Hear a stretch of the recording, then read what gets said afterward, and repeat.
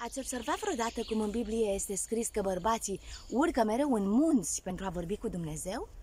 Cu toate acestea, în Scripturi aproape niciodată nu citești de femei care merg la munte. Și știm de ce, nu? pentru că femeile erau prea ocupate de grijile vieții. Ele nu au putut lăsa copiii, pregătirea meselor, casa nesupravegheată, ă, grădina neîngrijită și încă alte o mie de responsabilități pentru a face urcarea în munți, la rugăciune și meditație.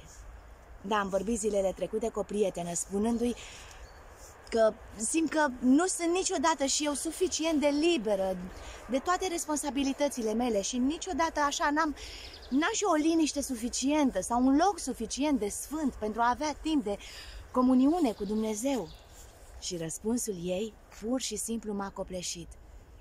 De aceea Dumnezeu vine la femei. Bărbații trebuie să urce pe munte pentru a-L întâlni pe Dumnezeu, dar Dumnezeu vine la femei oriunde s-ar afla ele. Mă tot gândesc la cuvintele ei de câteva săptămâni și am căutat în Biblie să văd dacă ceea ce a spus această prietenă a mea este adevărat. Într-adevăr, Dumnezeu vine la femei oriunde sunt ele, când își fac ele lucrurile obișnuite, munca lor de zi cu zi. Da, le întâlnește pe femei la fântâni, unde scot apă pentru familiile lor, în casele lor, în bucătăriile lor, în grădinile lor. El vine la ele Vine la ele în timp ce stau lângă paturile bolnavilor, în timp ce nasc, la cele ce îngrijesc persoanele în vârstă, la pregătirile de înmormântare și la parastase, chiar și la mormântul gol. Maria a fost prima care a fost martoră la învierea lui Hristos.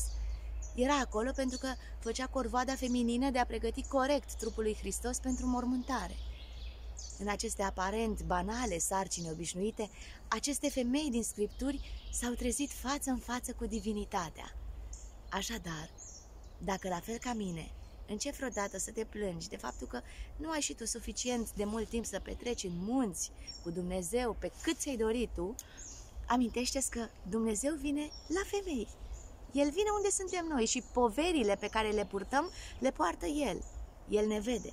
Și dacă ne deschidem ochii și inimile, îl vom vedea și noi, chiar și în cele mai obișnuite locuri și în cele mai obișnuite lucruri ale noastre.